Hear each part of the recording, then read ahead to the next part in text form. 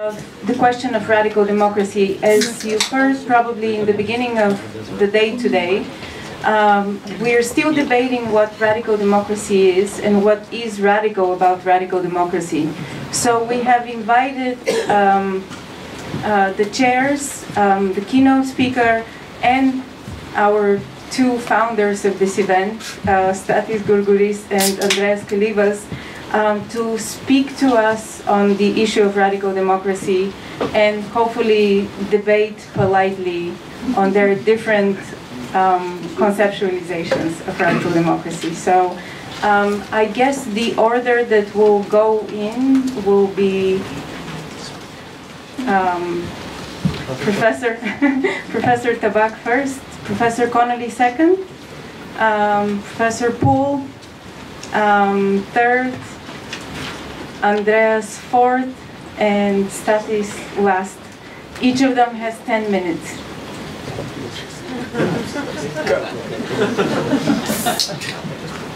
Hi, everybody.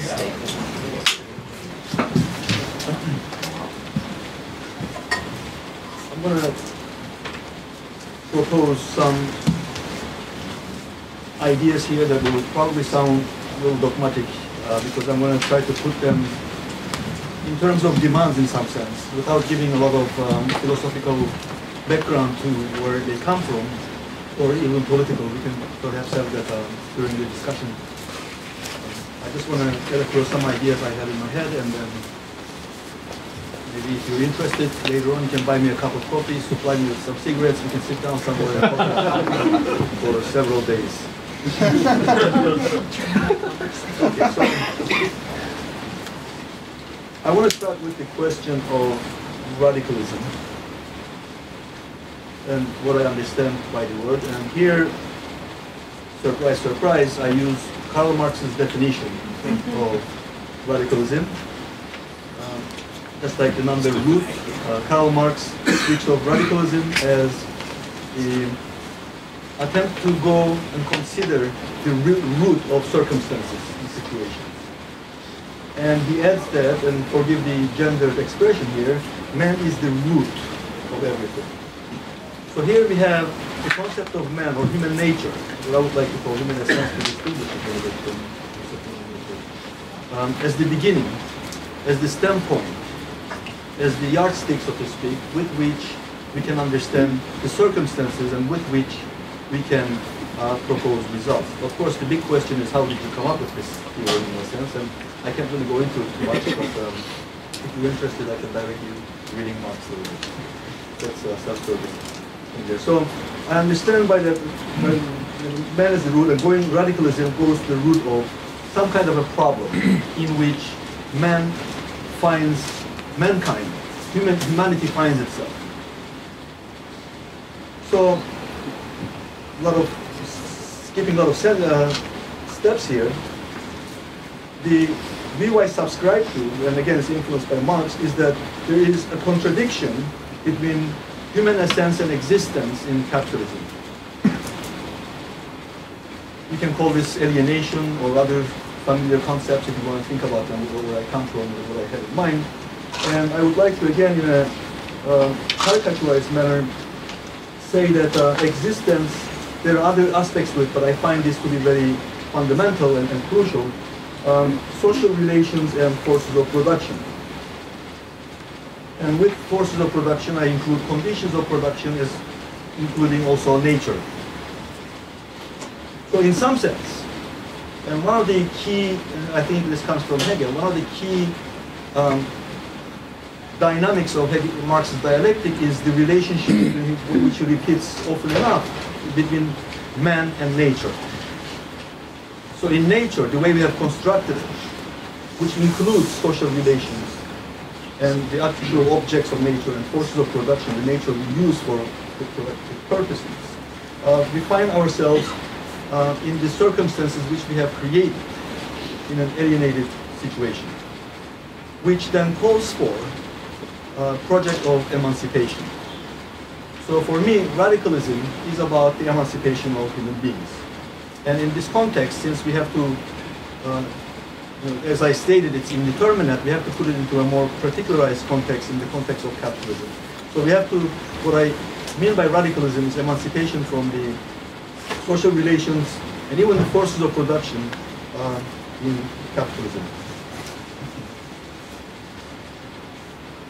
So again, jumping out of necessary steps here. If this were three, four hour presentation, we would go into them. But uh, um, I then equate emancipation, uh, I think that emancipation of this kind, again, I'm not reducing everything to this, but I find this to be of fundamental importance, since we do live in capitalism,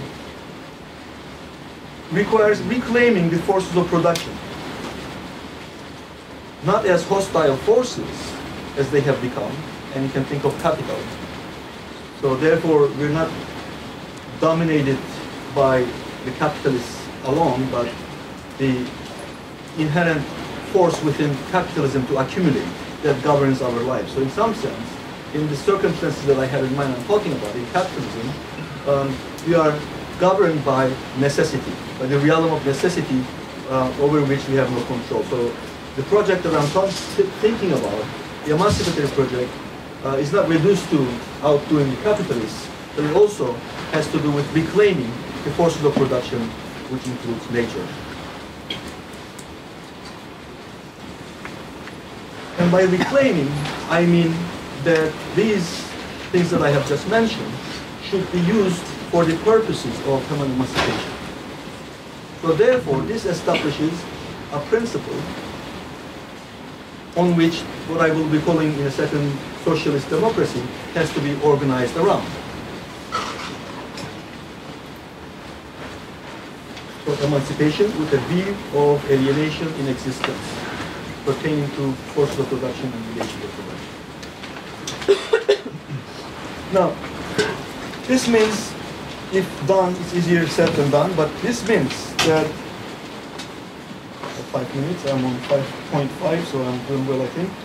Um, this means that we have to radically alter the existing society.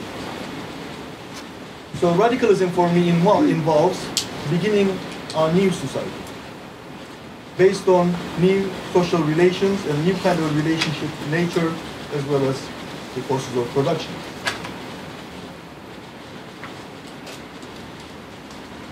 So in a sense, I'm calling for an a priori, which becomes, a, once it's established, an a priori general will that already, that is not so indeterminate as it is with Rousseau, for instance, but has the principle of human emancipation uh, as its basis.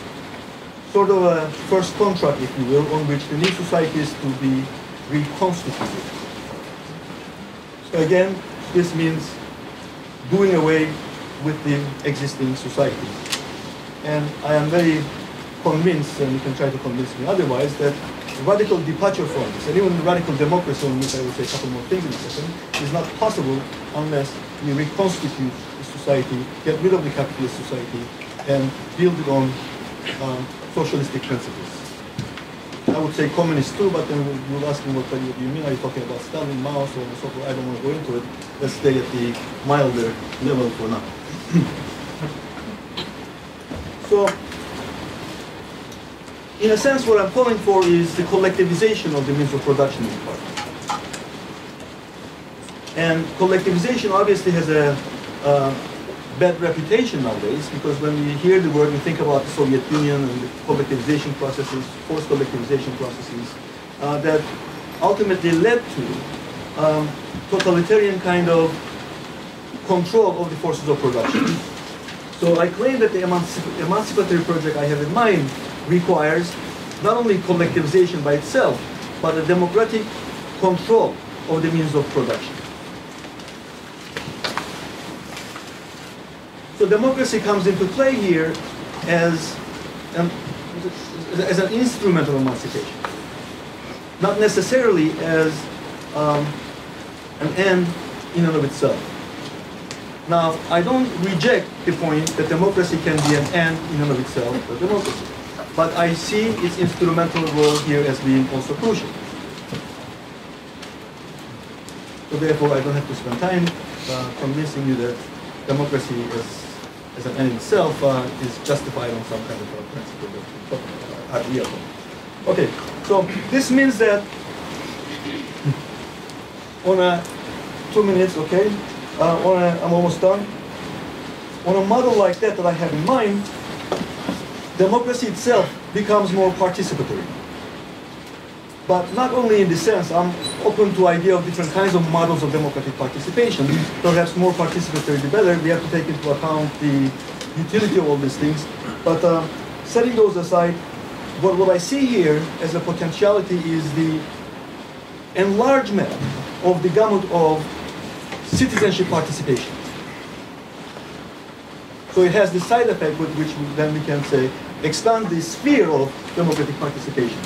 Uh, in fact, due to the nature of the capitalist system, the way it works, the democratic control of the means of production is largely excluded. I say largely because depending on where you and which time period you're talking about, this can vacillate a little bit. But uh, that the citizenship is excluded. Private, the, the economic reality is largely considered a private reality.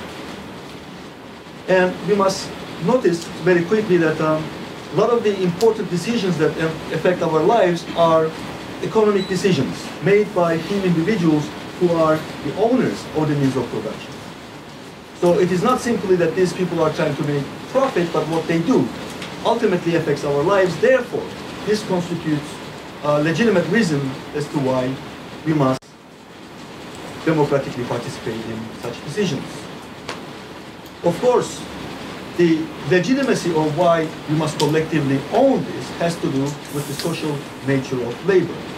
That we also believe, as a Marxist, I'm not ashamed to admit, um, that, um, that, that the wealth, the, the, the, the means, force of production, all these things, capital, is produced by social labor, and therefore what we're doing is actually reclaiming it with this kind of model.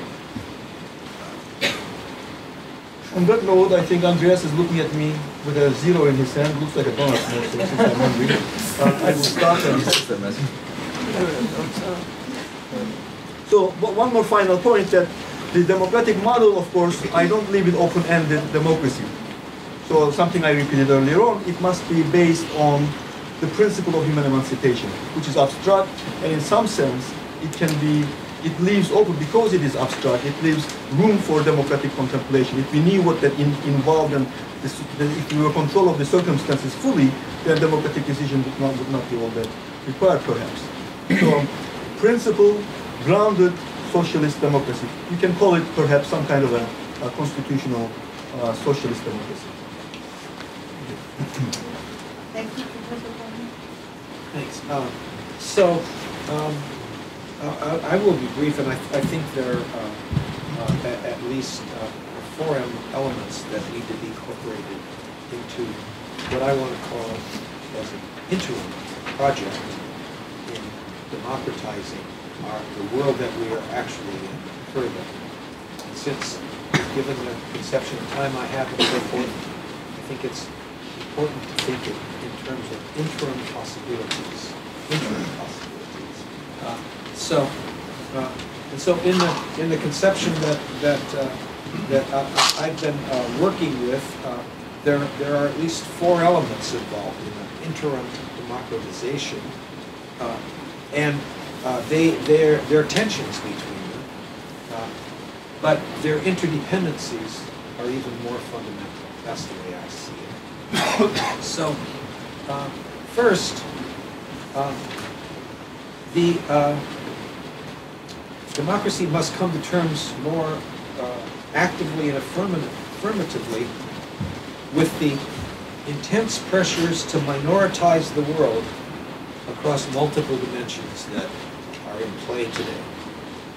Uh, so that uh, democracy and pluralism have to be joined together. in my book. I mean that. I mean, I, I wrote a book about that. So they have to be joined together. And pluralism is no longer a luxury, uh, if it ever was. Uh, the, the, the failure to produce and expand it has become uh, the, the only way today to avoid those violences uh, that find expression in territorial walls, in ethnic cleansing, in violence against the diversities of gender and sexual practices. And, and, I, I include linguistic pluralism. So you need multi-dimensional pluralism is my way of thinking, essential to an interim project in improving democracy in, in our age. Uh, So, uh, and, and, and and this phrase of the minoritization of the world, it's built into a whole bunch of processes that we could discuss, but they're not likely to go away. So that's the first idea. Second, and related, uh, democracy has a productive rift at its center when it's operating well. And, uh, and it must uh, seek to maintain two sides, uh, and uh, these two sides and maintain or uh, negotiate a productive tension between So there, there is the ethos of engagement between diverse constituencies uh, uh, through which uh, common actions can be, a positive ethos of engagement uh, can be produced, generated, uh, while diversity is maintained. And then there is second, the peri- periodic politics of becoming or pluralization by which new identities and rights and faiths and demands for equalization in this or that domain uh, uh, move from a, a, a, a, place below the register of acknowledgement or of recognized justice or of legitimacy onto one or more of those registers. And so this, this tension back and forth, a productive democracy for me maintains that tension. And, and, and this, the second side of it is one of its, uh, the, the elements of agitation that is built into uh, democratic, a democratic culture.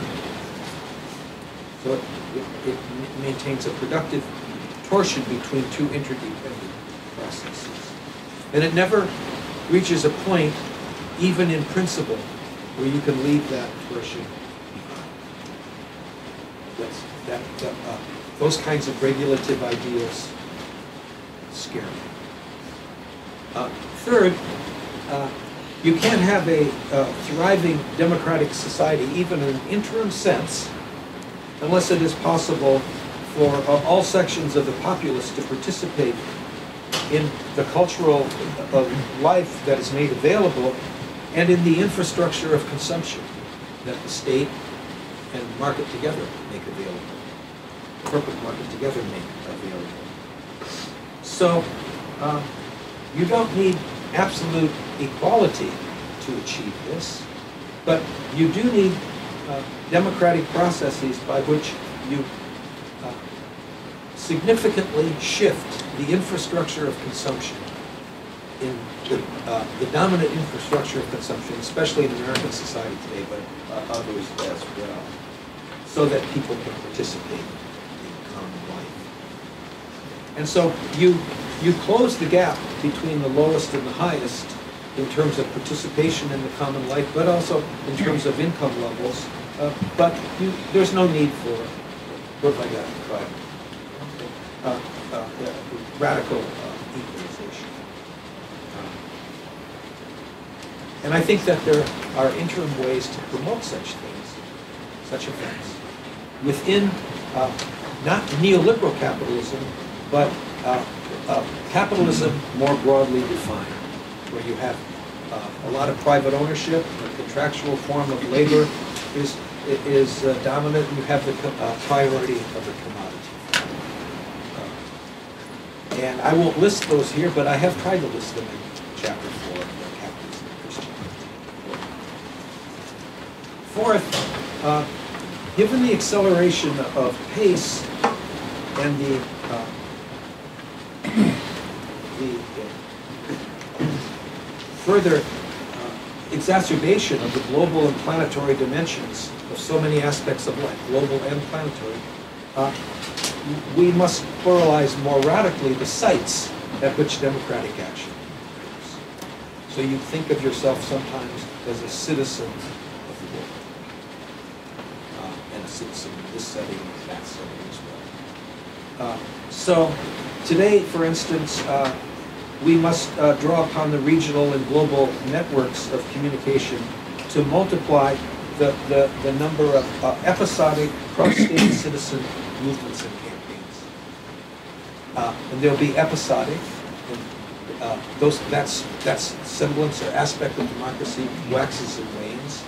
But um, uh, we have to rethink our very notions of citizenship the sites of citizenship, and then what the mode of citizenship is at each and every site. Uh, So, uh, and, and, and you know that I think that part of that, these movements are involved with the issues of climate change and a variety of other issues that I won't fend off drone strikes and so forth, a variety of other issues that I won't mention now. Because I think now I'm down to two minutes. So, four dimensions, uh, each of them speaks to the issue of participation, but each in a somewhat different way.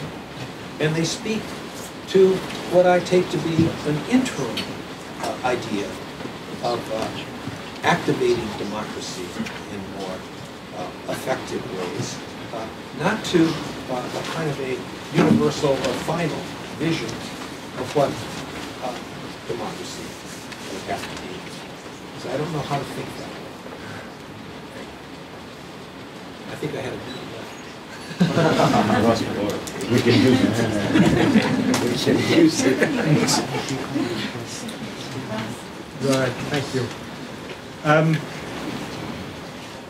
I've got a question here, questions that I, I'm supposed to address, and um, I, I want to just mention some of them. Uh, the main one, I think, is what is radical democracy? And I fear the answer to this is disappointing. I don't know the answer to this. Um, I, and I, I'll try and explain why I don't know the answer, and I'll explain the extent to which I don't think it matters too much uh, and the extent to which it does matter. Um, start with some words that we can learn from the Occupy movement. Um, at a certain point in the politics of the Occupy movement, um, a mutual friend, uh, in criticising some aspects of this politics, uh, referred to the inappropriateness of the word occupy thought it brings up the wrong connotations, military connotations, things like this. It's not the appropriate word for the kind of politics that the um, Occupy movement was.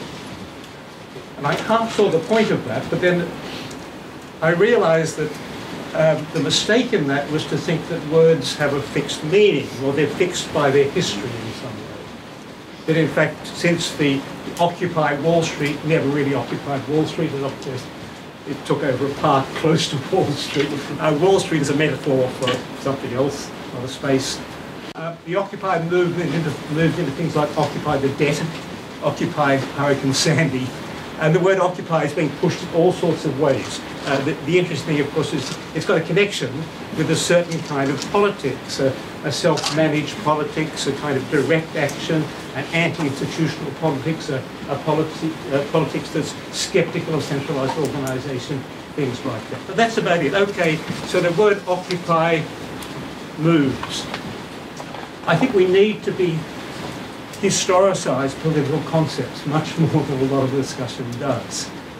The concept of democracy, the term democracy really gets into politics, except as a pejorative word the 16th and 17th, 18th century, um, becomes be thought of as a serious politics sometime 18th century, 19th century. And there's certain historical conditions for that, but the, one of the major ones, of course, is the centrality of the state and the relationship between citizen to state and the dissident forces within the citizenship and things like that. Okay, out of this emerges some kind of institutional practice of democracy. Now, there's lots of, as it were, criticisms being made of this, uh, and and, uh, just to, to center you know, some of the tendencies within it, was to think of politics simply in terms of the state. Another was to think of power simply in terms of the coercive power operated by the state. In other words, a simplified notion of power uh, and a simplified notion of politics. So, now essentially, insofar as democracy has been practiced, institutionalized, it still bears that legacy. And of course, on the, on the left, as Maynard has reminded us, there's uh, been serious attempts to broaden the scope of democracy. Now, we, we know the old model is no longer satisfactory, but we also don't know any one model that takes its place. What we do know is there, and we didn't need the modern world to show us this, there are many other forms of power apart from coercive power. The state op- operates with many more forms of power than mere the power to coerce violence. But also there are other centres and fields of power. So if at least part of the motivating impulse behind democracy is the idea that somehow if we are subject to forms of power, we should have some say in how they're organised. We should participate in the operation, the formation of that. We're now constructing with a whole, you know, you know, the old model of, okay, let's just take control of the state, and then if that was ever going to work, it doesn't work now.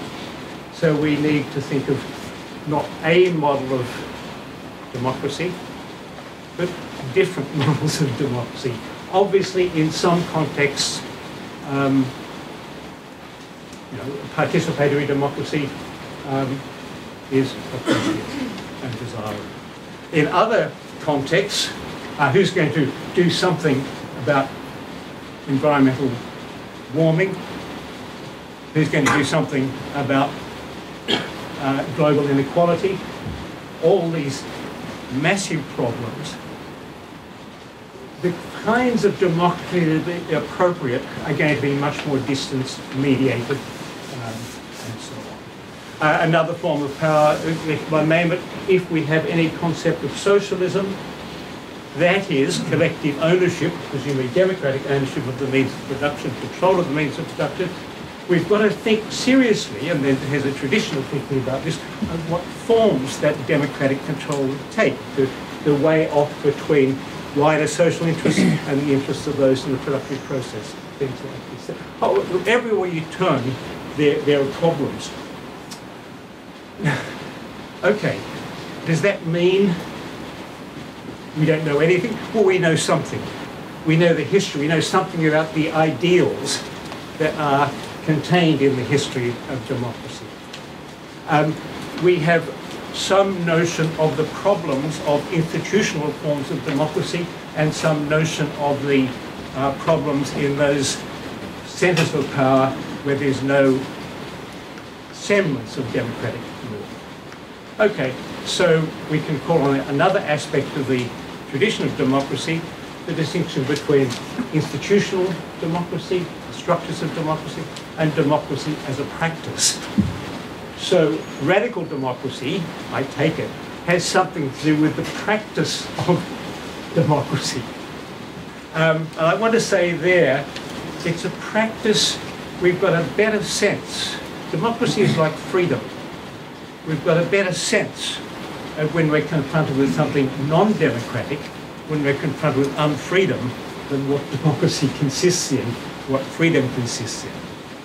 So the practice is one of working out the forms of democracy that are possible and available.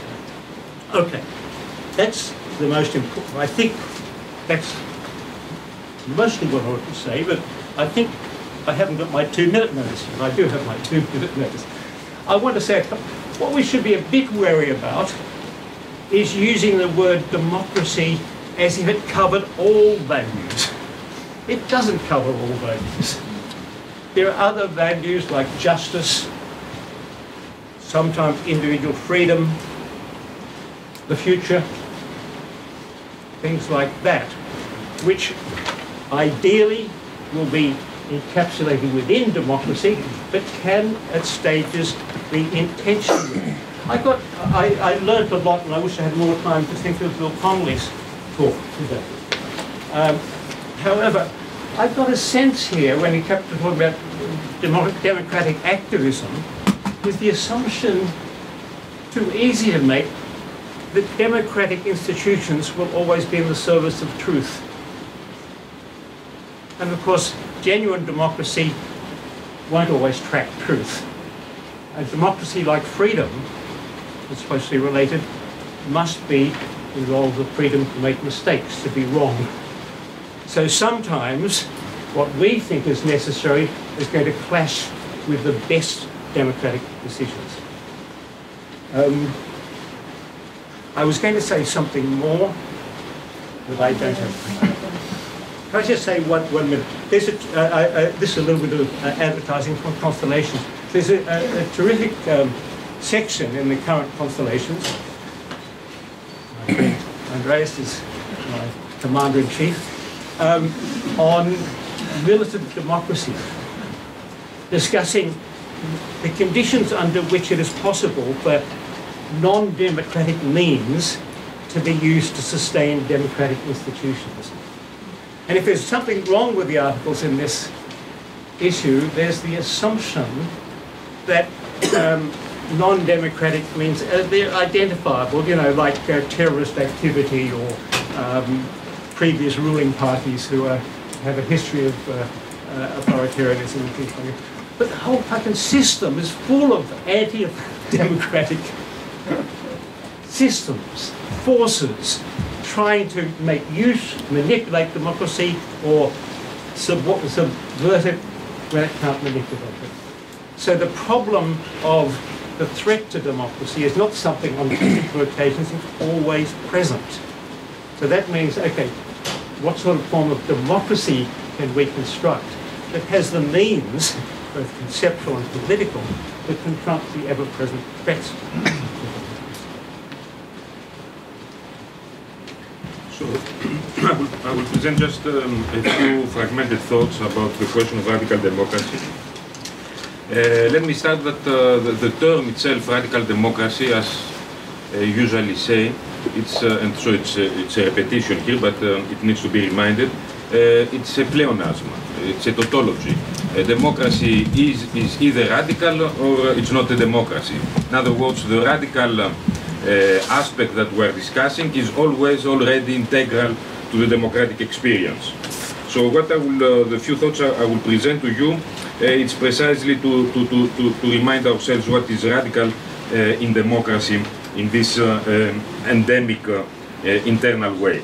So I take a democracy very minimally to signify the political form of the poor which means uh, uh, two things. First, uh, that uh, the poor constitute the political form of their collective life. So, in the sense that uh, the first uh, truth of democracy is the constituent power, exercised and enacted by the poor. And the second dimension is that this political form of collective existence is the self-government of the poor. The poor governing themselves. A consequence of this, uh, the second, uh, let's say, uh, truth or radical truth of democracy is that in order to have a democracy, you need to have defeated your enemies. And the enemies of the poor are the wealthy. So in that sense, uh, if we want to expand on this uh, notion of the radical content uh, or potentiality immanent in the democratic experience, is that the poor constitute their own forms of their collective existence, that uh, excludes or defeats the wealthy, the rich, the grandi. Now, another level of, implica of implications for understanding uh, the radicality of democracy is that precisely because uh, it is uh, a form of constituting new political forms of self-government of the poor, it cannot be compatible and is therefore radically incompatible with the state form on the one hand and with capitalism on the other. In other words, uh, democracy is not possible, is irreconcilable with the state form and the capitalist mode of production. Now, the capitalist form and the state form are the two pillars of political modernity of our times. In that sense, the, another uh, additional implication of what constitutes the radicality of democracy is that democracy is uh, radically incompatible with modernity. That means, uh, on the one hand, uh, that uh, democracy today does not exist as a practice, as an experience, as an institutional form of government. And the second is that uh, the possible hypothetical advent of democracy will signify in that sense an, a political exit from the model. And this uh, raises the question of uh, uh, thinking or developing a democratic critique of modernity, something that I think uh, has not been done. It is uh, characteristic uh, of our current times not only to understand them as democratic in one way or another, partially, limited, um, self-limited, indirect or representational, but uh, to understand the non-modern as inherently anti-democratic. So what I would like to suggest uh, is how one can rethink uh, democracy as this radical departure from the modern. The, what might be outside uh, uh, modernity should not be understood, uh, of course, as the primitive, on the one hand, uh, because this itself, the modern versus the primitive, is a modern distinction. It's part of the modern logic. But it might be the case that today the possibility of democracy could be less probable, uh, more probable, uh, more likely in the less in the less uh, modernized regions of the globe, of the globe, which also implies that uh, the belief or the hope to see democracy in the very center of the modern present might be just um, a, a wishful thinking. Therefore, in, the, in that sense, uh, the struggle for radical democracy should happen either against uh, the spaces of modernity or outside those spaces that raise the question what might be this outside and probably at the margins uh, of the modern um, globality today. Uh, to go back to some of the discussions we had uh, uh, from the morning, especially with relation to Europe, um, it seems to me that the thought or the um, project of a democratic Europe is another kind of another uh, wishful thinking of that kind. Its only hope, if there is such a possibility, will be precisely um, a hope uh, uh, provided by um, the migrants uh, that are, the, in a sense, uh, the new push uh, of uh, global neoliberalism. Any discussion about democratization of Europe will automatically involve the deconstruction of the idea of a European demos and the creation of another collective identity that will be parallel or um, symbiotic with uh, the um, uh, transformation of the collective uh, political uh, subjectivity uh, of Europe, that is, uh, with the rule of the new poor. Now, that might seem an impossibility, and in that sense, the most hopeful spaces is to search uh, from spaces that are located in the periphery of the model. I take this to be the new geopolitical primary sites uh, of democratic struggles today. Not in the center, not uh, in the core, but uh, in the, in, the, in the spaces where modernity arrived later and its effects have been less successful. So just uh, to conclude uh, uh, in, in uh, very briefly this kind of uh, uh, rather um, cursory and um, fragmented thoughts. If democracy is the political form of the poor, it will mean that the dimension, an important symptom or expression of democracy, uh, something that uh, I also said uh, uh, in the first conference, but I will repeat because it doesn't seem to, to have any appeal, but it is part of the definition of democracy as I understand it, that uh, it needs uh, to generate fear into the rich. There is uh, no other symptomatic manifestation of democratic power, that is of the self-government of the poor, if the rich and the wealthy are not afraid. Um, if uh, the rich uh, find themselves uh, uh, uh, in a symbiotic relationship with democracy, it means democracy does not exist. It is the test uh, of democracy itself. And the, the, the way to um, generate such a fear, after all, this is whatever has been said as criticism of democracy from Plato on, up to the 19th century with Benjamin Constant, and then it stopped because then demo democracy became just a, a, a, ritualistic uh, reference than an actual practice. So in order to generate this fear, um, and I don't mean uh, in the Jacobin sense of, of terror, but uh, of uh, practical political uh, measures, is uh, to reconstitute itself in a revolutionary empowerment of the poor, that is, of the many. So, just to conclude, uh, radical democracy is simply a project, it's not a reality, that is, democracy is not a reality, and uh, the possibility uh, of uh, its realization will mean uh, the, o- the end uh, of the model. Uh, Before I give the word to Stathis, um, we'll have the discussion over wine, so. So you don't have to keep your questions for the wine. Yeah, oh well. So Stathis. Uh, I want to I want to just uh, take up the, a little bit of my time just to say that I want to thank uh, those of you that organized this and all of you for coming here. Um, when uh, Andreas and I did this pedagogical experiment three years ago, um, this would have this is not uh, what we had in mind, but that is precisely why uh, this is an exercise in self-governance, and that's why we cannot be called founders. This is, has to be banned from the vocabulary. Um, and then uh, I was going to say sim- similarly that a, it's a very strange uh, way to end this uh, uh, very exercises of government by having what it looks like the kind of parody of the Council of Elders. Uh, uh, it, it- it becomes at least a parody, particularly because we're all under the command of. of, of Zero. We'll find it later. so, uh, exactly.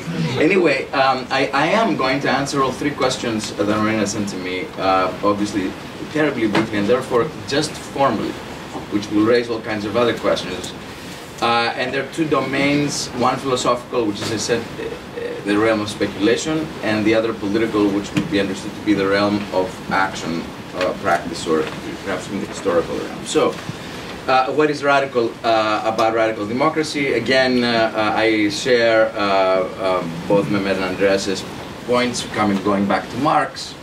That in fact, um, what is radical about democracy, radical is, is democracy itself, um, and that to use the term together is a pleonasm.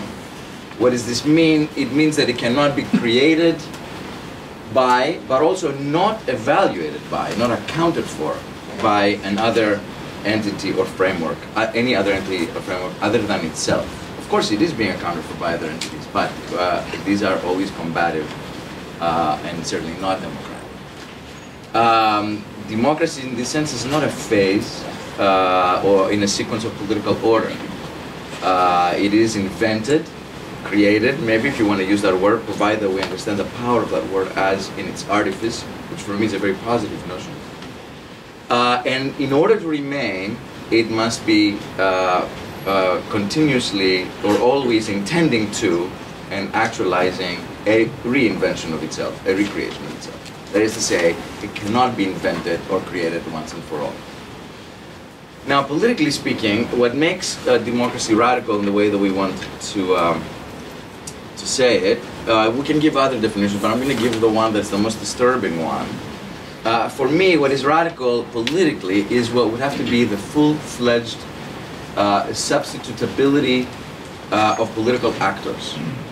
Um, that is to say, regardless of uh, the requisite personal, radical personal individual differences or social particularities, um, there has to be a total substitutability of political actors, a, a equivalence, a radical equivalence, and I use that term, not equality. You we'll see why, but really an equivalence of all political actors.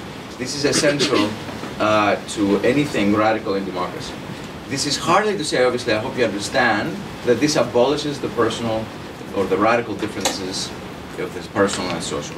In some ways, on the contrary, but that's a very uh, big discussion, uh, I, uh, and we can have it afterwards. But keep in mind that liberalism seeks to want to erase this radical difference between what for Arendt was the political and the social. I don't want to be interrelated as an Arendtian, but that's the, one of the references. Liberalism wants to erase this difference uh, precisely so as to ultimately sustain, in the name of the equal opportunity in the marketplace, uh, a, uh, silent uh, non-equivalence of political actors.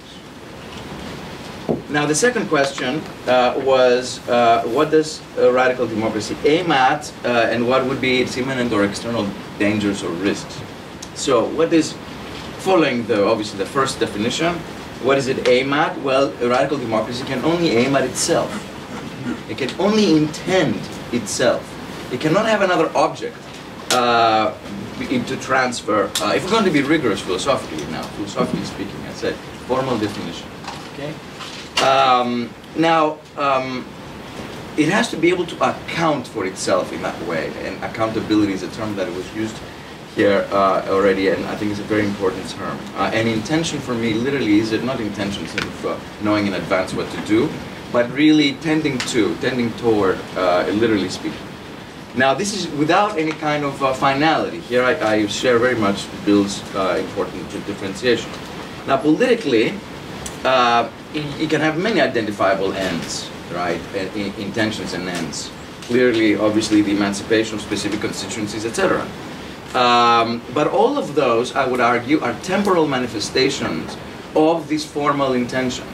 Uh, and, and we would have to investigate each one of them historically and obviously in real concrete social historical terms.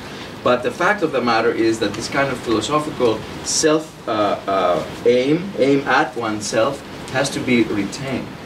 Because the moment we uh, make radical democracy instrumental in attaching it to some other end, uh, uh, we lose the radical aspect. Um, now, what are the dangers? I think that the external danger is obvious. I, I don't need to talk about it. it well, in, it's basically the enemies of democracy. The supreme enemy is, of course, capitalism. I think that we uh, been talking about this at address, as mentioned, and I don't want to go on further uh, in this way. Um, imminent dangers, internal dangers, are more difficult to, to perhaps identify because again they would tend to be particular but there is a there would be a tendency uh, to say again I'm obviously simplifying whatever diverts from or obscures uh, the commitment to this self-organization uh, self uh, um, um, you know uh, self-articulations uh, etc right? Whatever gets in the way whatever turns democracy into procedure whatever turns democracy into regulation is in fact danger, dangerous to its radicality. I understand the enormous problems this position would pose for real activism. I'm not, I'm not unaware of that, but it is important uh, to keep this uh, in mind, at least in the back of our minds when we're involved in activism. the last question, I am actually making them here, that's good. Uh, the last question is, how does radical democracy manifest itself? we've heard some very, I mean, I'm sorry I wasn't able to be here in the morning, but the afternoon panel uh, had some very, very interesting uh, responses to this actually. This, the question of space of appearance is something that would uh, actually interest us a great deal in this. But if I were to formalize it again, you know, again, pardon me for obviously simplifying, lack of time. For me, radical democracy manifests itself whenever uh, a large masses of people in, a, in, in what we would call an assembly uh, comes together uh, in the public space in its sheer togetherness and in and despite again the differentiation, the heterogeneity, the particularities, these are not at all overcome or erased, but beyond them, uh, whenever it comes in public space and by doing so, by just that alone, withdraws consent from power, from established power. That is the moment where radical democracy manifests itself in that gesture of withdrawal of, of consent, which happens by sheer appearance. Okay, uh, uh, and of course we understand that there's political war, and and and that that's not enough, and there has to be also constitutional power and all that. I don't want to go into it. I think the very first moment, the the first moment of autonomy is precisely that gesture of withdrawal of consent, and it has to be public, and and it has to be done in no one's name, right? Um, now, what happens to people who are not, uh, who have not, uh, uh, have who have not consented to power? who have who are disenfranchised and therefore have never lent their consent to power. They should not be asked uh, to be involved. This, I think, is a very interesting question. Uh, it seems to, me and we talked. That's part of the panel again in the afternoon was a lot about that. Uh, it seems to me that for those people uh, for whom whose consent was never asked for and they never gave it, for them um, the only possibility is really outward insurrection. There is no other really. Uh, you, while for those who are within the realm of citizenship, however we are going to define it, the, the withdrawal of consent is it can be by sheer public appearance. Okay, it doesn't happen very often. Uh, it doesn't happen very often, but you have to look at it in every revolutionary moment. It's there, and it's very uh, uh, interestingly uh, presently there. I'm almost uh, to the end. Uh, the, you know, the occupy then becomes a very interesting notion because it is about occupying the public space, the space of power, uh, which is presumably, which is actually actually never entirely empty. That's another discussion. The space, the space of power, occupying the space of power. That's why this word is useful. I just want to remind you, and I'll end with that. I think I may have mentioned this last time when we were discussing this. But the Occupy movement in Puerto Rico, its its its uh, slogan was "Unoccupy Puerto Rico," because for them that was precisely the gesture of occupying the space of an occupied, colonially occupied space. So the word, of course, as, as is not. Is not. That's it. Uh, I want to thank the panelists, if you can join me in that, and you can